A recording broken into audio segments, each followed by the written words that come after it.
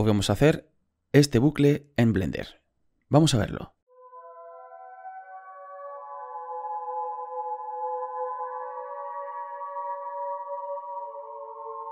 Muy buenas a todos creadores y bienvenidos una vez más aquí al canal de MV. Hoy vamos a hacer un tutorial, ya os digo como siempre muy facilito, esta vez sí será facilito, eh, lo vamos a trabajar mm, totalmente en Blender, no vamos a utilizar ningún programa externo y ya os digo que será un tutorial para principiantes. Aunque a primera vista parezca algo complicado, que tenga su, historia, vais a ver que el proceso es muy fácil. Os voy a dar todas las pautas que hay que, hay que ir haciendo para clavar esta imagen, para hacerlo exactamente igual, que os dejo aquí en mi Instagram. También os lo dejo por si queréis mm, echar un vistazo al Instagram y si os gusta, pues seguirme también por allí.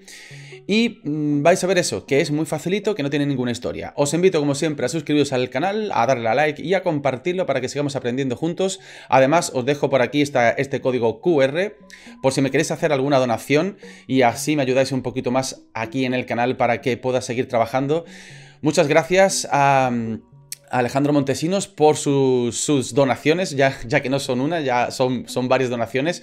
Muchísimas gracias por estar ahí siempre y por ayudar aquí al canal. Además, eh, también quiero dar las gracias a Rubén Armando por, por estas colaboraciones que, que también está haciendo.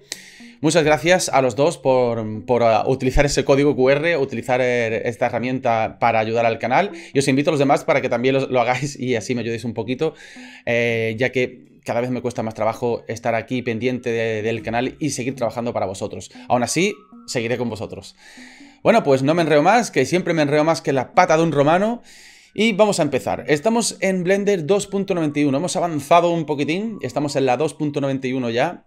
Ya sé que esta, esta, versión lleva aquí ya algún tiempo, pero bueno, yo la voy a empezar a utilizar ya aquí en el canal. Puedes trabajar a partir de 2.8 en adelante, aunque este tutorial concretamente se puede hacer en cualquier versión, hasta en una, alguna más antigua, porque prácticamente todo lo que viene, todo el proceso, es muy parecido en todas las versiones. No me enreo más. Vamos a empezar.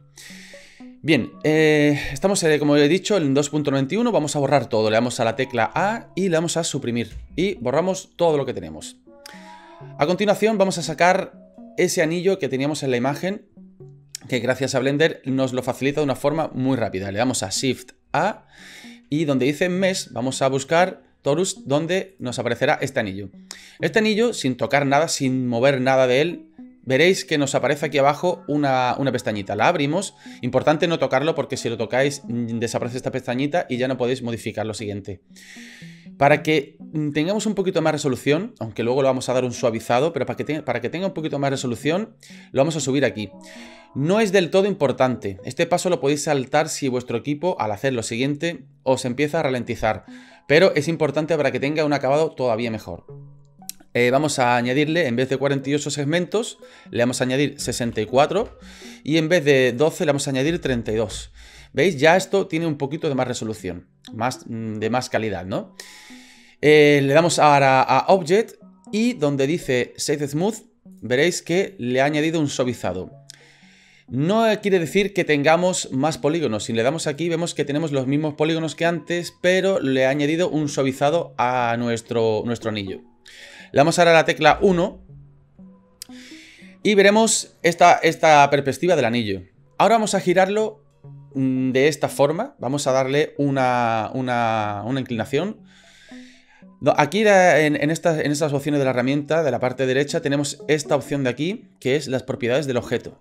Pinchamos aquí y tendremos este menú. Aquí tenemos la, localización del objeto, que lo tenemos en el centro. Si no lo tenéis en el centro, importante, siempre os repito, Alt-G para ponerlo en el centro. Tenemos la rotación y aquí es el punto importante. ¿En qué eje lo vamos a rotar? Lo vamos a rotar en el eje Y. Vemos aquí el Y, que lo tenemos aquí, lo queremos rotar en el eje Y. Pues al eje Y le vamos a añadir 25 grados. Perdón, he puesto 35, 25 grados. Intro. Y lo tenemos ya girado a 25 grados. Lo siguiente que le vamos a hacer es duplicar el anillo. Pues con el anillo seleccionado, veis que está en amarillo, le damos a Shift D, Intro, y ya tenemos dos anillos. Aquí a la derecha lo vemos, uno y dos anillos. A este segundo anillo, que lo tenemos seleccionado porque está en amarillo, el otro no está seleccionado, lo vemos aquí, que es la copia, le vamos a añadir menos 25, le damos aquí, menos, intro, y lo ponemos, le damos a intro, y lo tenemos ya a 25 grados. Vamos a acercarnos un poquitín con la rueda de ratón, Y aquí con esta herramienta de movimiento lo vamos a subir lo vamos a subir hasta tenerlo aquí, justamente apoyado. No es necesario que esté perfectamente apoyado, aquí está rozando un poquito para que esté apoyado. No hace falta porque no vamos a utilizar físicas en, en este tutorial, con lo cual no es necesario que esté perfectamente apoyado. Solo que toque un poquitín y listo. Seleccionamos uno y seleccionamos el otro y le damos a Control J. Lo que ha hecho ahora es convertirlo los dos en un objeto. Ya tenemos ahora un objeto seleccionado. Si por lo que fuera veis que os da problema y queréis volver a separarlo, la opción sería, le dais a F3. Creo que aquí...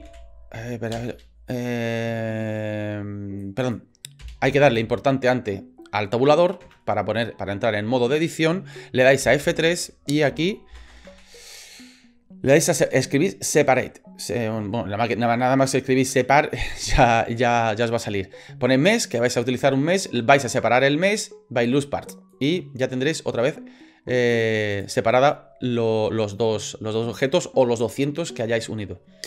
Bueno, pues le damos a Control J, lo tenemos ya unido. Y le damos de nuevo a Shift D.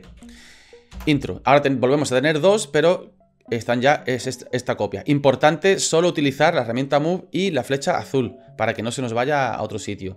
Lo volvemos a subir y en este caso lo vamos a tener apoyado en este punto. Lo voy a subir un poquito más para que no esté tan apoyado y ahí va. Ya os digo, un poquitín nada más. De nuevo seleccionamos uno y seleccionamos el otro, Control J y volvemos a tener uno, una pieza nada más. Vale, bien, yo tengo este, este le voy a dar control Z porque lo he, lo he movido un poco, me parece a mí. Y lo, he vuelto a unir un poco, bueno, no importa. Control J, ahí está bien. Ahora vamos a, ponerlo justo que se apoye en el eje eh, X, perdón. Vamos a subirlo un poquitín, ahí está. Y lo mismo, que está apoyado en la línea roja del eje X. Pues ya tenemos los anillos con esta forma, que es la que, con la que vamos a trabajar. Vale, lo siguiente que vamos a hacer es generar una cámara. Le damos a Shift A y vamos a generar una cámara. Aquí está Shift A y generamos la cámara. La cámara nos aparece aquí, ahí en medio, a lo loco, normalmente en el centro donde tenéis puesto el punto. No importa, si aparece, por ejemplo, si os aparece la cámara aquí, porque tendréis el punto aquí, vamos a hacerlo, Shift A, cámara, si, os aparece ahí, no importa porque ahora la vamos a, a, cambiar. Simplemente le damos a, al G para ponerla en el centro y donde dice los ejes de rotación, le vamos a poner los ejes correctos.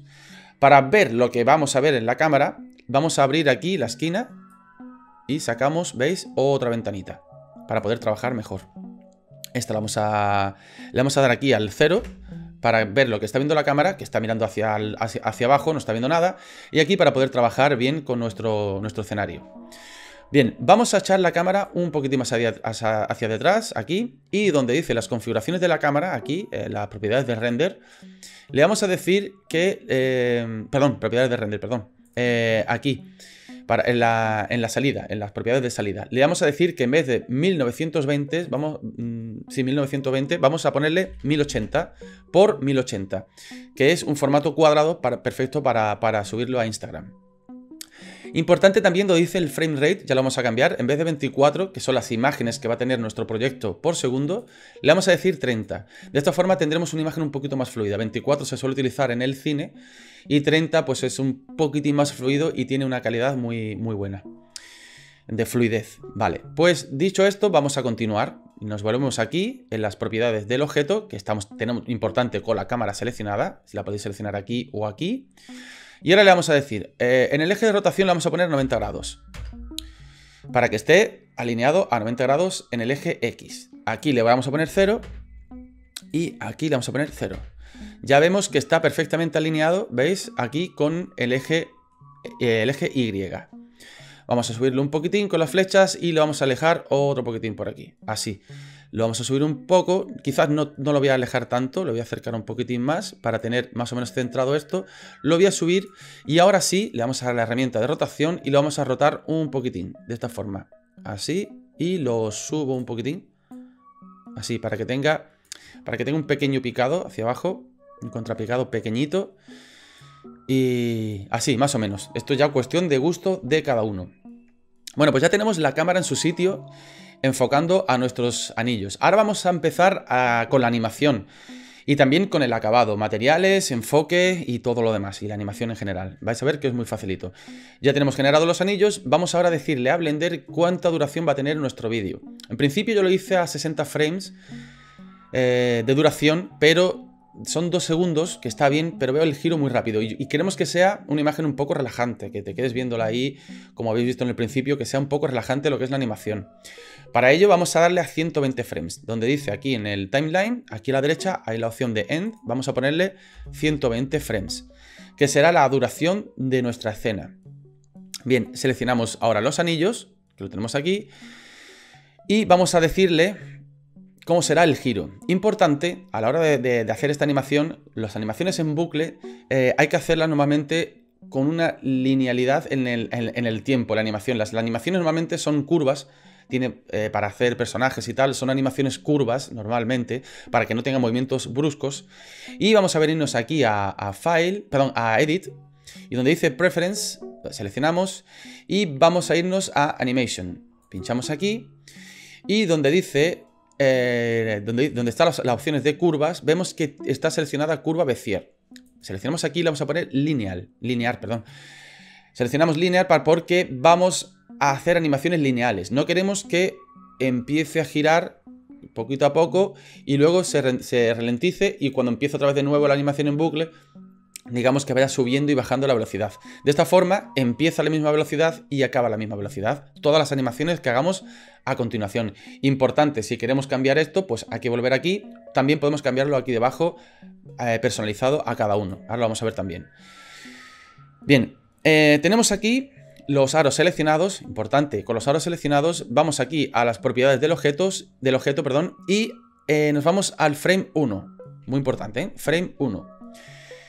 Queremos girarlo en el eje Z, ¿veis? Que es el eje, en el eje Z es donde queremos hacer el giro de los aros. Pues donde dice eh, Z, pinchamos aquí y generamos aquí un key para, para, para, que empiece la animación en el eje, en el, perdón, en el frame 1.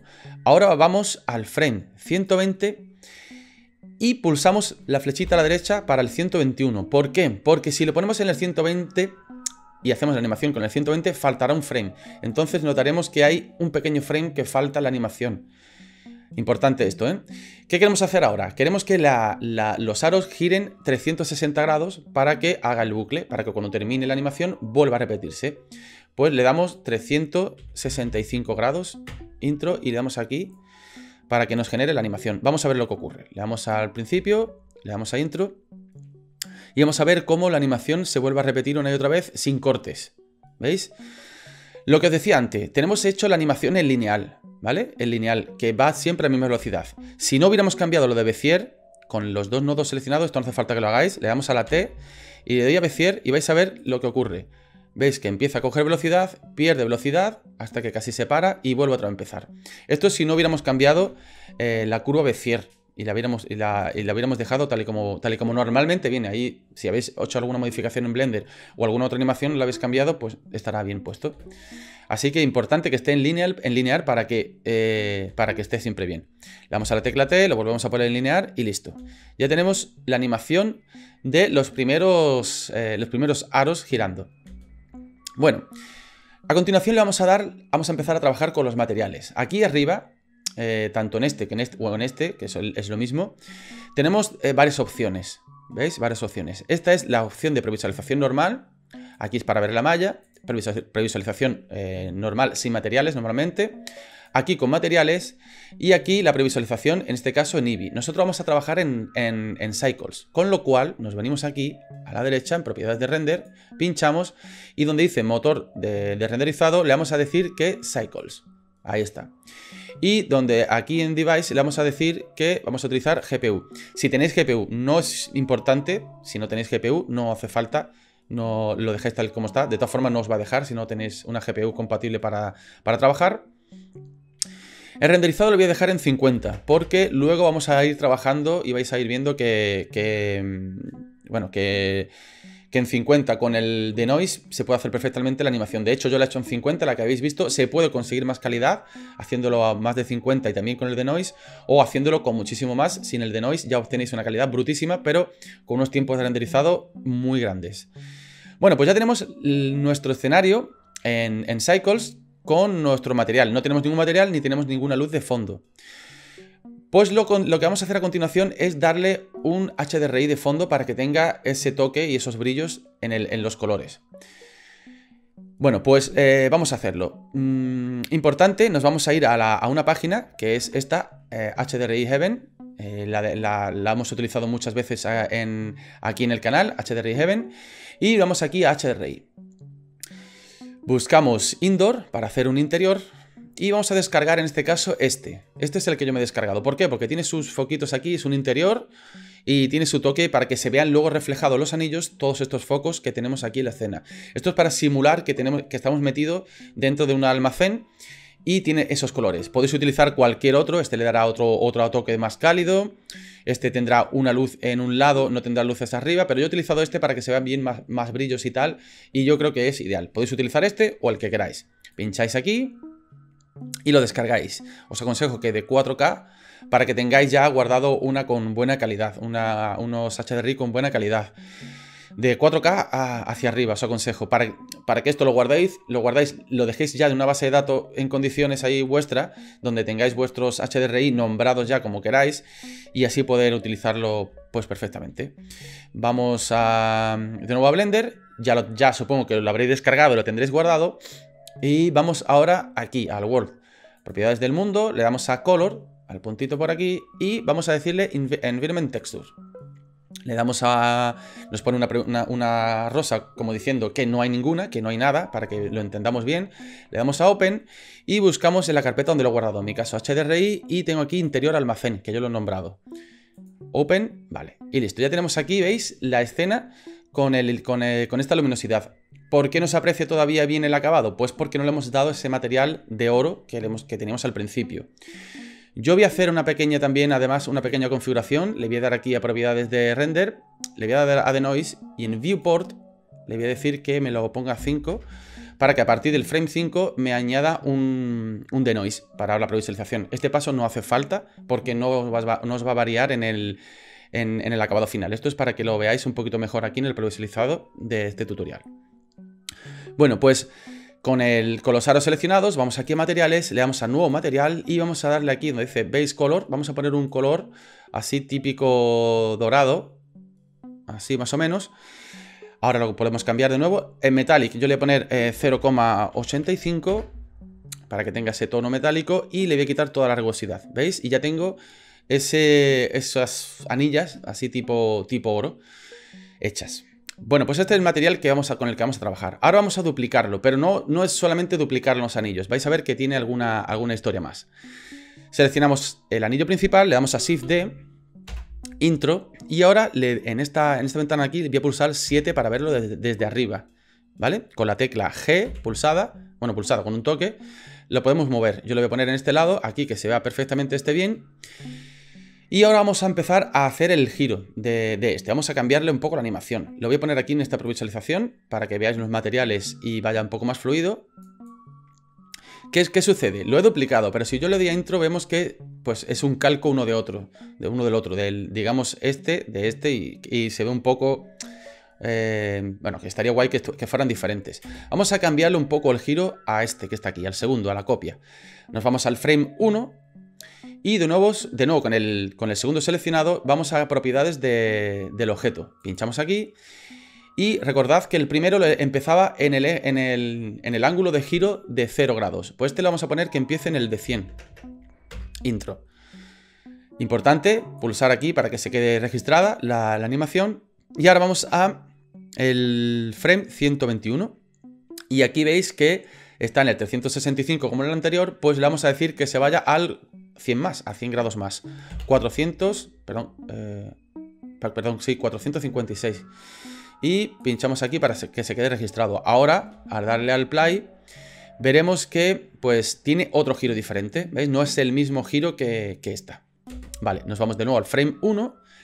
Seleccionamos la segunda o la primera, pero en este caso selecciona mejor la segunda para que esté igual tutorial que como lo estamos haciendo y los números. Le damos a Shift D intro y ahora en esta ventana de aquí le damos a G para moverlo y le vamos a poner aquí.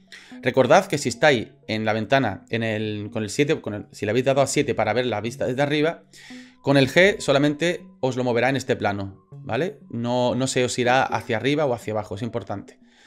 Bien, pues lo ponemos aquí un poquito más lejano para que esté un poquito más pequeñito y vamos a hacerle también una pequeña modificación en el giro. Le vamos a decir que empiece en el eje, en el, en el ángulo de 200, ahí está, damos aquí clic para que se quede registrado y vamos al frame 121 y, y, le añadimos 100 más. En vez de 456, pues vamos a ponerle 556. Me aseguro de que esté puesto esto, vale. Le damos a intro y vemos ya que las tres, cada una, están girando eh, pues, pues diferente, ¿no? ¿no? No están clavadas unas a otras. Bueno, pues volvemos al frame 1, seleccionamos estas tres, lo vamos a echar un poquito aquí abajo con el Shift pulsado y el, y el botón de en medio, le damos a Shift de intro y le vamos a poner aquí, un poquito más atrás. Vale, así. Esta me la voy a llevar aquí, o este huequicito de aquí, y esta otra, por ejemplo, me la voy a poner aquí, para que no esté justo detrás de, esta. Importante que no esté ninguna a la misma altura, a la misma profundidad, digamos, para que cuando hagamos el tema de la profundidad de campo, pues se vayan viendo los desenfoques eh, de uno y de otro y quede, bastante, bastante chulo. Esta se va a ver más desenfocada y, y la primera es la única que va a estar enfocada. Bueno, pues ya tenemos hecho la, animación completa de nuestras, eh, nuestras anillas relajantes aquí. Bien, vamos a continuar. Lo siguiente, vamos a meterle ahora un fondo y a darle los últimos toques a la animación. Bien, pues le damos al Shift eh, A y Mesh. Sacamos un Mesh, Plane, y nos sacará un plano. Le damos a la tecla Alt G para ponerlo en el centro, para estar seguro que está en el centro, y le damos a la tecla S para ponerlo grande, bien grande. Así que, cubra, que cubran todas o casi todas, aquí. Yo diría que así más o menos, ¿vale? De esta forma ya tenemos hecho el suelo de, nuestro escenario. Ahora vamos a hacerle que el fondo esté tapado, esté cubierto y que tenga un suavizado interesante. Yo voy a echarle un poquitín más, más aquí, así, de esta forma, y listo. Bueno, pues eh, con el plano seleccionado le damos al tabulador o aquí a Object Mode, Edit Mode y vamos a seleccionar los bordes. En este botoncito de aquí seleccionamos los bordes para poder seleccionar el, qué borde queremos utilizar y vamos a seleccionar este borde. ¿Qué es lo que vamos a hacer a continuación? Le damos a la tecla 7 y ahora vamos a sacar un poquito del borde superior, lo vamos a extender para subirlo y hacer la curva del fondo, ¿vale? Le damos a la tecla E, le damos a la tecla Intro y donde dice Move seleccionamos y, ¿veis? Nos saca uno, nos saca un, poquito más de, del plano. Ahora le damos a la tecla 3 para verlo desde esta, cámara y lo vamos a subir un poquitín. ¿Veis lo que estamos haciendo? Estamos haciendo el fondo. Ahora con esta misma le damos a la tecla E, le damos a Intro y vamos a subir un poquitín así y yo le voy a echar un poquitín más atrás y así, de esta forma. Y para asegurarnos más, le damos a la tecla E, intro.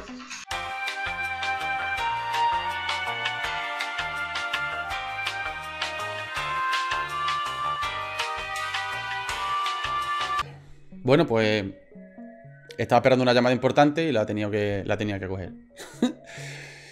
Bien, pues continuamos. Vamos a ver, aquí estamos, estamos haciendo el fondo y lo último que queda ya pues era E, intro y lo subimos aquí un, poquito, creo que lo tengo aquí, ahí está, un poquitito así, que tenga más o menos esta curva, lo podemos subir un poquito más para, por, si luego a la hora de hacer el suavizado varía un poco.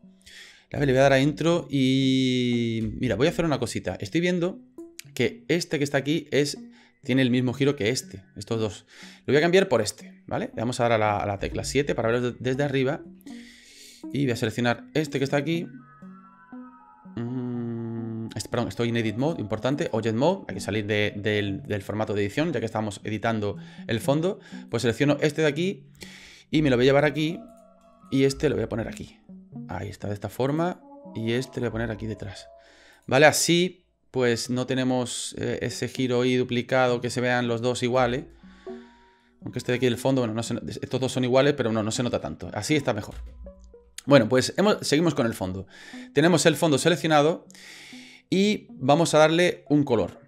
Vamos aquí a, esta herramienta, este, a, esta opción de, Cycles. Esto es para ver el acabado final, importante porque algunos me habéis comentado que no se os ve igual, que, qué le pasa. Pues es importante que tengáis en cuenta estos tres puntos. Previsualizado rápido, previsualizado con materiales y previsualizado final con el motor que tengáis seleccionado. En este caso, pues eh, el motor Cycles de, de Blender. Bien, pues ya vemos aquí el acabado que estamos obteniendo. Veis que tiene varios puntos de luz y esto es, debido a que hemos puesto ese HDRI con varios foquitos que se ven aquí perfectamente reflejados. ¿Veis? Aquí en, la, en, los anillos se ve perfectamente reflejado. Dependiendo del que hayáis utilizado, pues tendrá, un, tendrá un acabado u otro.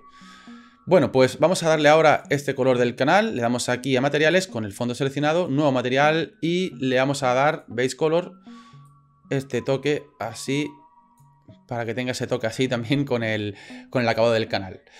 Bueno, pues no se aprecia realmente el fondo que tenga estos, estos cortes. Aquí no se aprecia en el, en el, resultado final. Si en el vuestro se os aprecia, por lo que sea, pues seleccionamos el fondo, el suelo, perdón, el suelo, o suelo fondo, porque es el suelo, superficie y fondo. Le damos aquí a los modificadores y añadimos un modificador de subdivisión. Vale, le voy a dar a S para ponerlo más grande y veremos que la curva, ¿veis la curva que nos está generando? Ya está pisando los de atrás. Lo voy a llevar más aquí, aquí para que veáis, para que, nos, para que esté, mm, no, no, nos esté tocando, digamos, la curva nuestros objetos. ¿Veis aquí que lo está tocando? Es importante que tengáis en cuenta esto. Así ponerlo así, bien pegadito, para que no se os toque, aunque aún así me sigue tocando. Y en, en en renderizado le voy a poner, por ejemplo, a 4. Para ver cómo quedaría, pues 4 sería de esta forma y se queda así. ¿Vale? Aquí quedaría. Esto es por si, por lo que fuera, el fondo vuestro os está, generando esos ángulos feos en, el renderizado. Pues le dais a 4 o 5 y esto es para que en el resultado final quede de esta forma, que se vea así. Aquí lo vemos en el viewport, lo vemos en el previsualizado, cómo quedaría, y, en render, las opciones de render, pues se vería en 5, como lo tenemos en el previsualizado. Podemos bajar esto para que nos vaya más fluido, para que no nos ralentice tanto el equipo, pero recordad que cuando rendericemos se verá con la calidad de 5.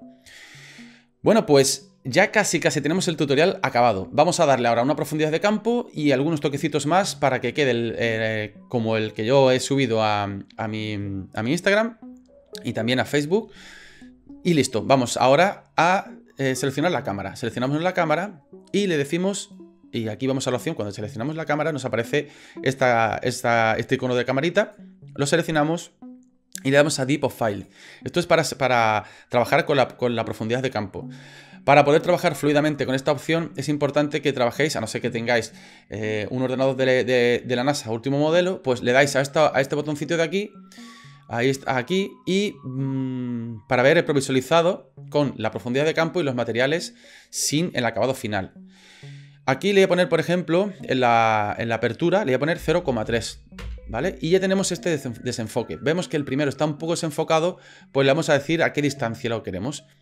Esto puede variar dependiendo de, de, cómo hayáis trabajado vosotros eh, vuestra escena. Yo lo voy a ir cambiando, si os fijáis aquí, en este primero, hasta que me quede enfocado. Así más o menos, la primera parte, porque un poco la parte de atrás queda desenfocada. Y ahora, si le doy aquí el previsualizado, veremos el acabado final de, con este desenfoque. Ya esto va siendo mucho más interesante y va, pareciendo bastante, bastante chulo, yo creo, ¿no? Bueno, pues ya para rematar vamos a renderizarlo y añadir algunos, alguna configuración extra. Por ejemplo, eh, no, perdón, aquí en View Layer, aquí, en esta opción, es esta opción, en la cuarta que os aparecerá aquí, vamos a activar The Noise Data para añadir un filtro de, reducción de ruido. Lo activamos aquí y ahora nos vamos aquí al composting. Activamos los nodos, vamos a echar este un poquito para acá, esto lo hemos hecho más veces ya en el canal, pero como he dicho que este tutorial va, lo vamos a hacer desde el principio hasta el final, perdón, pues lo vamos a ver. Vale, ahora le damos a Shift A y buscamos aquí, ponemos deno para escribir denoise, escribimos denoise y lo ponemos aquí. Y ahora, este con este, y esto, para activarlo simplemente. Para activar de render a filtro y a salida, ¿vale? Ya lo que está haciendo es renderizar nuestro, va a renderizar nuestro trabajo, lo va a pasar el filtro de ruido y nos lo va a mostrar en pantalla. Bueno, en el renderizado final. Vamos a darle a renderizar y veremos a ver cómo queda. Eh, le podéis dar a render imagen o a F12 dependiendo de, de cómo queráis, de cómo sea más fácil. Como os dije, está renderizando a 50 pasadas. Podéis ponerlo a 128, 200, 1000, como queráis. Si vais, a, si vais a hacer una captura, pues lo podéis poner a mucha más resolución, a mucha más pasada, perdón, para que tenga mejor calidad. Pero ya eso es a gusto de cada uno. Si vais a hacer una animación, pues os aconsejo que con 50, pues más o menos está bien. Pero vemos aquí que en el desenfoque no tiene del todo la calidad que nos gustaría. Aún así, está bastante bien y puede valer para este trabajo. Bueno, pues por último, vamos a hacer. Mm, vamos a ver cómo queda eh, nuestro, nuestro trabajo con un pequeño layer que le vamos a instalar, un pequeño filtro que lo vimos también en el canal para que tenga un toquecito un poquito más interesante. vamos a dar a Shift A y donde dice filtro vamos a activar el glare. Lo vamos a poner aquí. Además, yo voy a poner aquí, le voy a dar, a Shift A de nuevo y en Search voy a escribir aquí View y voy a, voy a, escribir, voy a poner un Viewer para cuando lo ponga de esta forma poder ir viendo detrás cómo va quedando nuestra escena. ¿Vale? Le hemos añadido un glare y nos genera estos brillos. A mí del todo no me gusta, me parece demasiado empalagoso, demasiado empalagoso, pero podéis cambiarlo también, podéis eh, quitarlo un poco. Aún así yo simplemente quiero ponerle, le voy a dar un fog, simplemente quiero añadirle una, un pequeño especie de bloom, voy a poner 0,8, ahí está, ¿veis? Esto es lo que quiero yo aquí, que en las partes de brillo me genere este efecto. Incluso le podemos poner menos, a ver cómo queda, bueno, más, añadiéndole, eh, bajándole un poquito aquí. Yo creo que así estaría bien. Y de esta forma ahora solamente habría que renderizar. Para renderizar, pues vamos a las opciones de, de, propiedad de salida, aquí. Aquí ponemos, seleccionamos la carpeta donde queremos guardar nuestro archivo. Y ahora viene la parte interesante, el formato de salida. Hay algunos que me habéis dicho, es que no se me ve, hace poco no recuerdo quién me lo dijo, que, me decía que qué formato, qué programa puedo, tengo que utilizar para que se me vea la animación porque no se me ve. Posiblemente se os haya saltado alguna parte y ahora vamos a ver todo. Donde dice File Format eh, es el formato de salida. Podéis ponerlo en PNG, que os generará un, PNG por cada archivo y luego tendréis que convertirlo a vídeo. Pero vamos a hacer algo más facilito, no vamos a enredarnos con tanta calidad y lo vamos a hacer directamente en vídeo. Le damos a esta última opción, FFmpeg, vídeo, y donde dice encoding, vamos a darle, a, en vez de matroska, le vamos a dar a MP4, MPEG4.